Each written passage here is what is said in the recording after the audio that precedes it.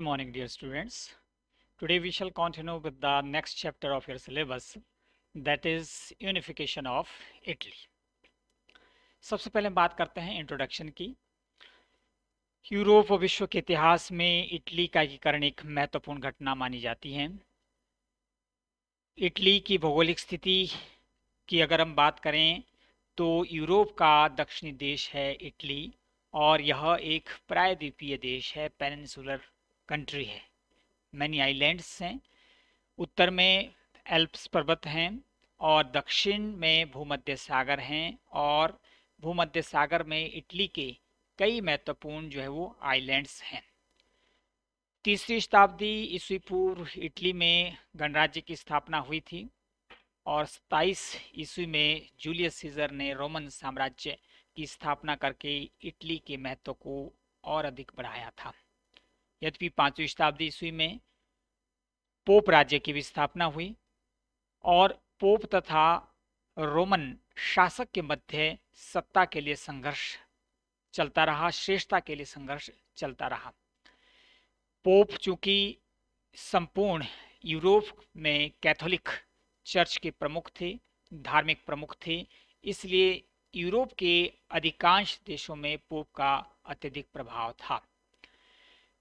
Italy के unification से पूर्व इटली कई घटनाओं से गुजर चुका था और छोटे छोटे राज्यों में विखंडित था। टस्कनी है, मेडोना है, परमा है, यहाँ पर फ्रांस के हैप्स वर्ग का शासन था। सिसली और नेपल्स पर बुर्बो वंश का शासन था और इटली के मध्य भाग में पापल राज्य स्थापित था, पापल स्टेट्स था। फ्रांस की क्रांति एक ऐसी महत्वपूर्ण घटना थी, जिसने कि इटली में राष्ट्रीयता भावना को जागृत किया। लिबर्टी, इक्वलिटी और फ्रेटर्निटी के स्लोगन्स ने इटली में राष्ट्रीय क्रांति को और भी प्रबल किया था। चूँकि नेपोलियन ने सत्रह सौ चौरानवे से 1909 ईस्वी तक निरंतर इटली पर आक्रमण करके इटली के कुछ भाग अपने अधीन किए थे और वहाँ पर प्रशासनिक और न्यायिक जो एकीकरण है, उसको स्थापित किया, आर्थिक एकीकरण जो है वो स्थापित किया। इससे भी इटली के लोगों में एक प्रकार की जो यूनिफिकेशन की भावना है, एकीकरण की भावना है, वो जागृत हुई थी। बाद में जो ऑस्ट्रिया का चांसलर था मैटरनिक, उसने 1815 से 1848 के मध्य रिएक्शनरी पॉलिसी अपनाई थी, दमनकारी नीति अपनाई थी और उन दमनकारी नीतियों के परिणाम स्वरूप भी लोगों के अंदर राष्ट्रीय भावना और भी प्रबल होती गई, मज़बूत होती चली गई थी। इसके अतिरिक्त इटली के जो महत्वपूर्ण देशभक्त थे, मैजनी का नाम उनमें से एक है, काबूर का नाम आपने सुना है गैरीवाल्डी का नाम आपने सुना है। ये ऐसे महत्वपूर्ण देशभक्त थे जिन्होंने इटली के एकीकरण में बहुत महत्वपूर्ण योगदान दिया था। यद्यपि इटली में जो है ज्योग्राफिकल डाइवर्सिटीज थी कल्चरल डाइवर्सिटीज थी, इसके कारण इटली बहुत शीघ्रता से यूनिफाइड होना या यूनिफिकेशन होना इटली के लिए सरल नहीं था। इटली के मार्ग में कई ऐसी कठिनाइयाँ थी जो कि उसके एकीकरण को रोक रही थी, यानी उसके एकीकरण में जो बाधाएँ उत्पन्न कर रही थी। नेक्स्ट इसी में हम जो स्टडी करेंगे, वो यही करेंगे कि ऐसी कौन सी महत्वपूर्ण बाधाएँ थी ऑब्स्टेकल्स थे, जिन्होंने कि इटली के एकीकरण में बाधाएँ उत्पन्न की थी, या जिन्होंने इटली के एकीकरण में कठिनाइयाँ उत्पन्न की थी। सबसे पहले बात करते हैं डोमिनेशन ऑफ़ ऑस्ट्रिया ऑस्ट्रिया का जो प्रभाव है, वो लोम्बार्डी और वेनेशिया के अतिरिक्त। परमा, मेडोना, टस्कनी पर भी था। लोम्बार्डी और वेनेशिया तो डायरेक्ट ऑस्ट्रिया के अधीन थे और परमा, मेडोना और टस्कनी पर जो है वो ऑस्ट्रिया के राजकुमारों का नियंत्रण स्थापित था। अर्थात ये एक बहुत बड़ी बाधा थी। इटली को ऑस्ट्रिया से मुक्त करवाना आवश्यक था। इटली को राजकुमारों के प्रभाव से मुक्त करवाना आवश्यक था। तभी इटली का जो है वो एकीकरण संभव हो सकता था। सेकंड है लैक ऑफ़ नेशनलिज्म राष्ट्रवाद की जो कमी है। मेटरनिक ने कहा था कि Italy was a mere geographical expression अर्थात इटली केवल एक भौगोलिक व्याख्या है, यानी एक भौगोलिक स्वरूप है। इसके अलावा इटली कुछ नहीं। अर्थात इटली के अंदर नेशनलिज्म की भावना उत्पन्न नहीं हुई थी। जब एक कंट्री स्थापित होती है, जब एक नेशन बिल्ड होता है तो उस समय जोग्राफिकल लैंड के अतिरिक्त जो लोगों के अंदर राष्ट्रीयता की भावना है, वो बहुत महत्वपूर्ण मानी जाती है। क्योंकि राष्ट्रीयता की भावना के परिणाम स्वरूप ही एकीकरण संभव हो पाता है। इटली के अंदर उस समय किसी भी प्रकार की राष्ट्रीय की भावना एकीकृत नहीं थी, लोगों में राष्ट्रीयता जागृति नहीं थी, इसलिए यह एक बहुत बड़ी मुश्किल थी, बहुत बड़ी चुनौती थी कि लोगों के अंदर राष्ट्रता प्रेम को कैसे जागृत किया जाए, राष्ट्र के लिए जो है वो किस प्रकार लोगों को तैयार किया जाए, ये एक बड़ा मुश्किल प्रश्न था। नेक्स्ट है inefficient and insufficient army चूँकि जो ऑस्ट्रिया के प्रभावाधीन क्षेत्र थे या फ्रांस के प्रभावाधीन क्षेत्र थे या पापल स्टेट के अधीन प्रभाव क्षेत्र थे, उत्तरी और दक्षिणी जो इटली का विभाजन था, उस विभाजन को रोकना या उस विभाजन को एकीकृत करना सेना के बिना संभव नहीं था। और उसके लिए मज़बूत और आवश्यक सेना की आवश्यकता थी। इटली के पास उस समय ना तो सफिशिएंट आर्मी थी और ना ही वो एफिशिएंट थी। अर्थात जो कुछ भी उनके पास उस समय आर्मी थी, वो कई अलग अलग छोटे छोटे पॉकेट्स में, डिविजन्स में जो है विभाजित थी। उनके अंदर कोऑर्डिनेशन नहीं था, फीलिंग ऑफ़ नेशनलिज्म नहीं था, देश प्रेम नहीं था। इसलिए यह भी एक बहुत बड़ी चुनौती थी कि अगर इटली को यूनिफाइड करना है, एकीकृत करना है तो उसके लिए एक राष्ट्रीय सेना की आवश्यकता थी, एक जो है वो नेशनल आर्मी की आवश्यकता थी। इस चुनौती से कैसे जो है वो निपटा जाए। नेक्स्ट है, इन्फ्लुएंस ऑफ़ पापल स्टेट्स। जैसे कि इंट्रोडक्शन में भी मैंने आपको कहा था कि जो पांचवी शताब्दी ईस्वी में है, वो पोप राज्य की स्थापना हो चुकी थी और रोम जो है, वो ईसाई धर्म का सबसे महत्वपूर्ण केंद्र बन चुका था। मध्य इटली पर संपूर्ण जो नियंत्रण है, प्रभाव है, वो पोप का था, न केवल धार्मिक दृष्टि से बल्कि राजनीतिक दृष्टि से, आर्थिक दृष्टि से और सामाजिक दृष्टि से भी पोप संपूर्ण इटली को प्रभावित करता था। इसका अतिरिक्त अगर हम बात करें, इटली के बाहर भी जो यूरोप के तत्कालीन बहुत महत्वपूर्ण देश थे, वहाँ पर भी पोप का अत्यधिक प्रभाव था। इसलिए पोप, जो पोप राज्य हैं या पापल स्टेट्स हैं, जब तक उनका नियंत्रण जो है वो इटली के अधीन नहीं होता है उनका जो है नेशनलाइजेशन नहीं होता है, उनका इंटीग्रेशन इटली के साथ नहीं होता है, तब तक इटली का एकीकरण संभव नहीं था और जो पोप है और रोमन जो शासक है, उनके मध्य में सत्ता के लिए संघर्ष चला रहता था, अपनी शेषता के लिए संघर्ष चला रहता था। इसलिए यह एक बहुत बड़ी चुनौती थी कि किस प्रकार पोप को इस बात के लिए एग्री किया जाए, राज़ी किया जाए कि इटली को एक एकीकृत राष्ट्र गठित किया जाए। नेक्स्ट है रिएक्शनरी पॉलिसी ऑफ़ मैटरनिक 1815 से 1848 तक जो ऑस्ट्रिया का चांसलर था मैटरनिक उसने लोगों की जो क्रांतिकारी गतिविधियाँ हैं, लोगों की जो लोकतांत्रिक गतिविधियों के लिए उठाई गई आवाज़ थी, उस आवाज़ को निरंकुशता और दमनकारी नीतियों से दबा दिया था। अर्थात वह किसी प्रकार की नवीन जो परिवर्तन है, उसको एक्सेप्ट करने के लिए तैयार नहीं था। रूढ़ीवादी विचारों पर जो है, वो एक प्रकार चलने वाला शासक था। इसके अतिरिक्त वो जो ढर्रा स्थापित किया गया था, जो प्रशासन की और शासन की पौराणिक पद्धति थी, उसी पर शासन करना चाहता था।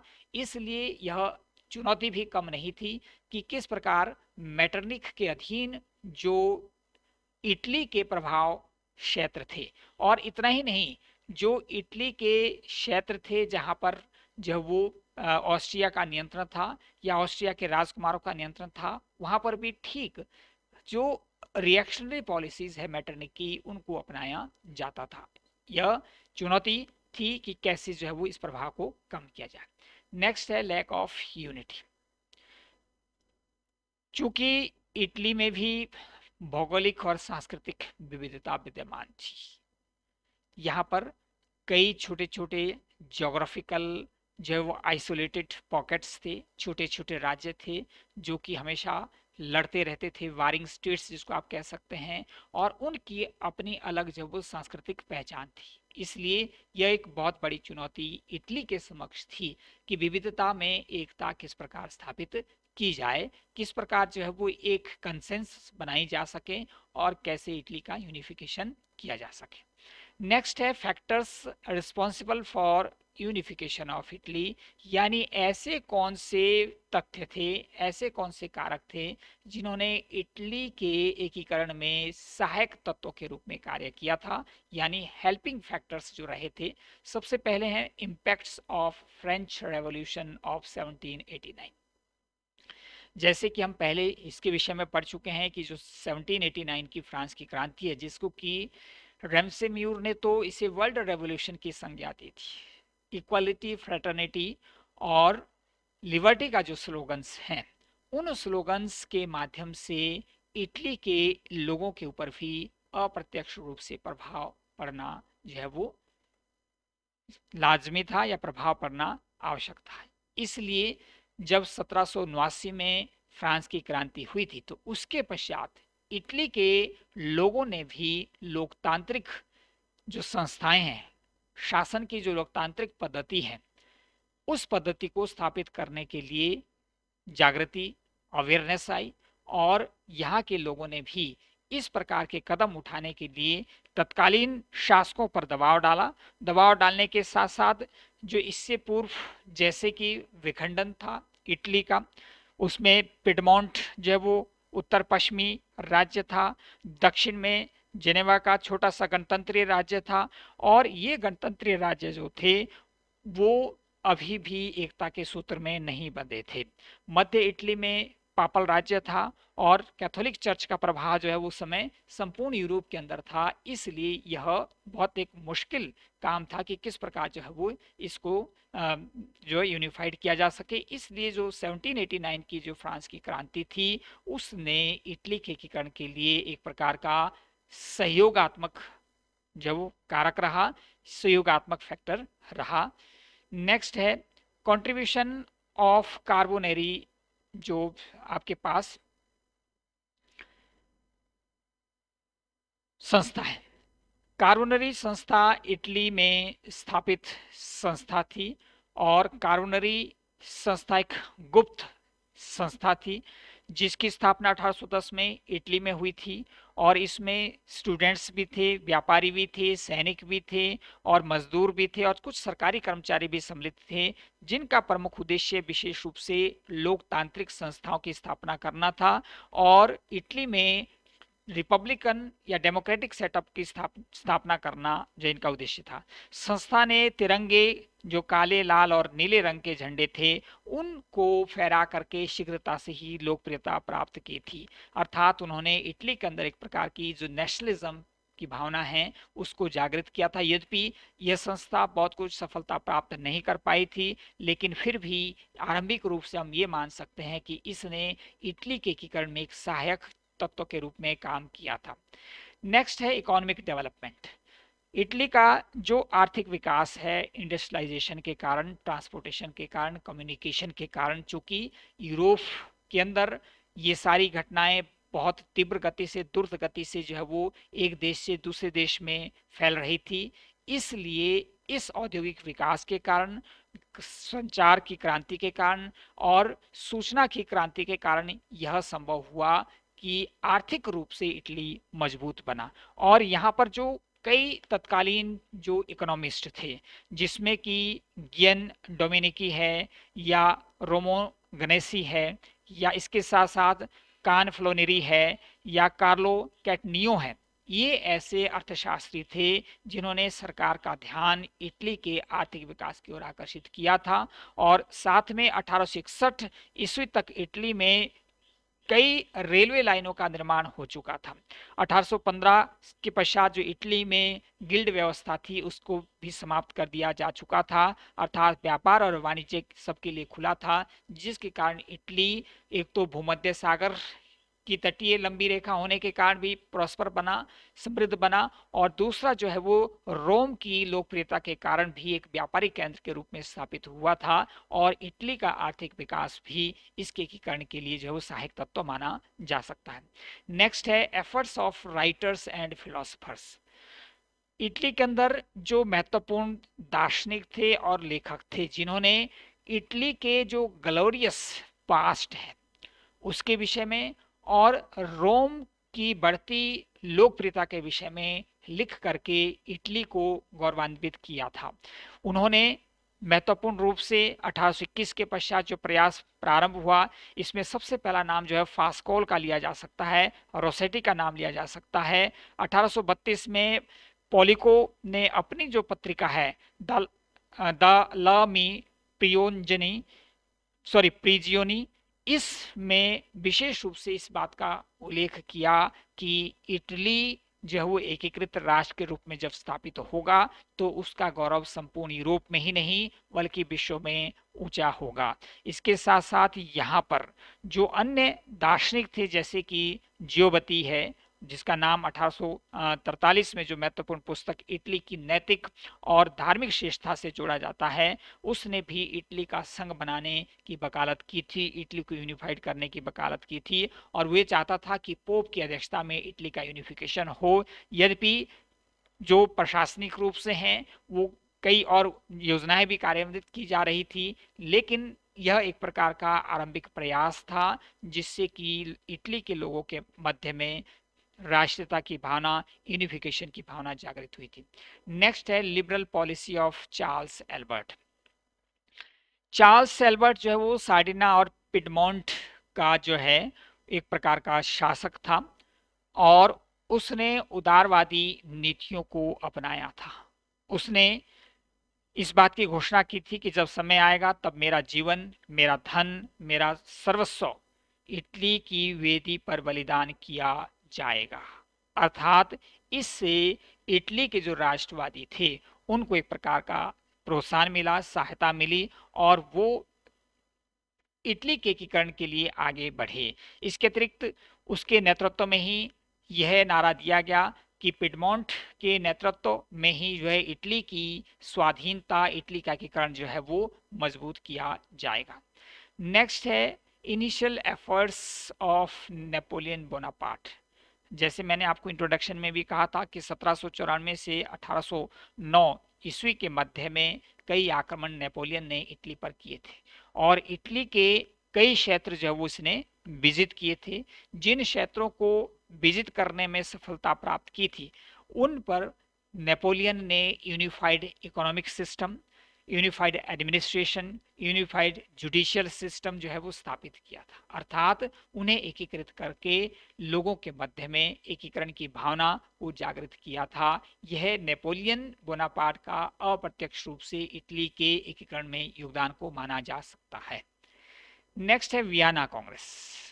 1815 में वाटरलू के युद्ध के पश्चात जब नेपोलियन बोनापार्ट की पराजय हुई थी, उस पराजय के पश्चात जो वियना में कांग्रेस आयोजित की गई थी, सम्मेलन आयोजित किया गया था, वहाँ से इटली को निराशा हाथ लगी थी। अर्थात वियना में 1815 में हुए समझौते ने इटली के राष्ट्रीय विकास को 100 वर्ष पीछे धकेल दिया था। इटली को पुनः विखंडित किया गया छोटे छोटे राज्यों में विभक्त किया गया।